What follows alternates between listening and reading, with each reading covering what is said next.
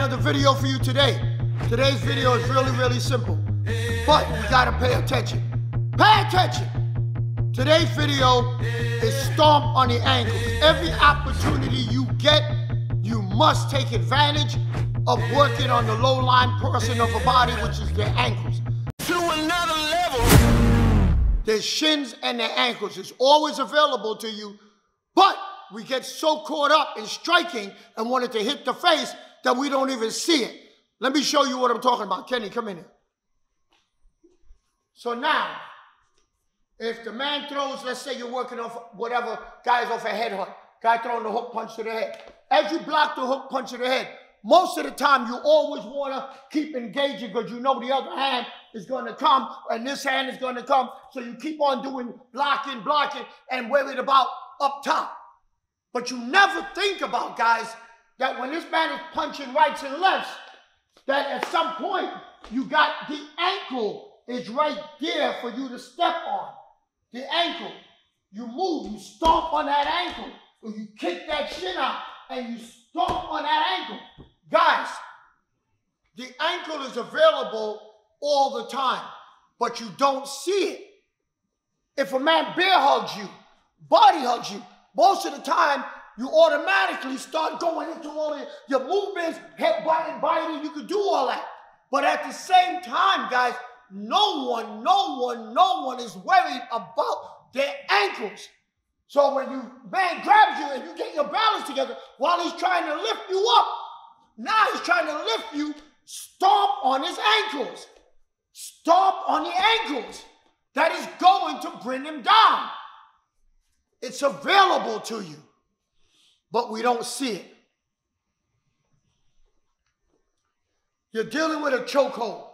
These are common things you or you do different. Choke them, choke, choke. You start working up time. First thing you do, the first thing you're gonna do is grab the hand.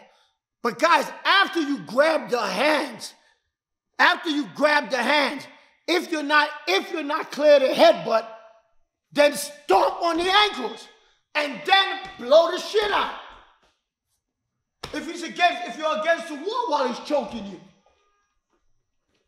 look, where's his ankles are gonna be? What could he do with his ankles? He can't do anything with his ankles. They're there. If his hands are here, his legs gotta be somewhere there. What's he gonna do? Can he stretch your leg all the way back? All the both of them. Who's gonna do that? No one's gonna choke you like that. No one. He has to be, he's so angry, he's doing this. And you, all you could do is think about his breathing. But if you could lock those arms either by holding it down or locking your arms together, so now when you lock your arms together, you can headbutt. You got to do that immediately, or he's when you lock his arms, he's gonna headbutt you. So you just lock his arms in, lock your arms in, headbutt, and then stomp the ankle, and then blow the shit out. The point that I'm making is that the ankles will always be available. But do you see it? Do you see it? If a man ever throws what we call a number two strike, can you get over here? Man throws a number two strike at you, and he's doing this. He's doing this number two strike. When you're blocking this, where is his ankles? It's right here. So if he's coming from the outside, give me the one inch or two. He's coming from here, and this don't work, and then he decides to like loop under and it come here. His ankles are right there. You might not see it when you did this, but you know if you step and step, the ankles are there. But if you don't catch it there and he comes on the other side, guys, how can you not stomp on that ankle? It's right there in front of your face, but we don't think about it. We don't see it. We are so programmed in our society to headhunt, go for the face, the body shots, throw elbows, lock up headbutts, do all of this, but we don't think about the ankles. Everybody is walking around with freaking flip flops on. Think about the ankles. They're there. Use them. Ankle shots. Turn his focus. Stomp on his ankle. Hook punch. Change the focus. Skip. Stomp on the ankles. Put it into your, put it into your mind. Put it into your arsenal. Put it into places for you to attack outside in the real world because it's so damn available to you and nobody could do anything to stop you once you are focused on the ankles. What's he gonna do? What's he gonna do? Once he puts his hands on you, his ankles are available. Once he touches you, his ankles are available. But are you, are you skillful enough?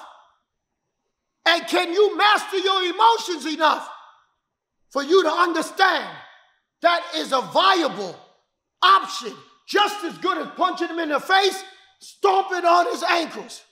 If you gave me a choice to punch a man in his face or crack his ankle, I will take that because some guys can take a punch in the face, but I don't know anyone that could bam when you stomp on their ankles. Kenny, take a knee, please. One knee. I don't know anyone. Come on out here. I don't know anyone when a man is like this that you can stomp on their ankles and they can survive that. They can't. They can't. Anytime a football player gets hurt, big old 255 pound linebacker get hurt, they take his behind out because once his ankles are done, that's it. Go after the ankles. Take advantage of it. And remember, remember, guys, we put together a package in our university go into the university, click on the link that's in the corner, go into the university, research, grab that package. Guys, if you like this video, guys, if you found value in it, please drop us a like right now. Make sure you click on your notification bell, guys. Smash that subscribe button, guys. And don't forget, share the video with as many people as you know, guys. Thank you very much. Peace. To another level. Let's hit it. To another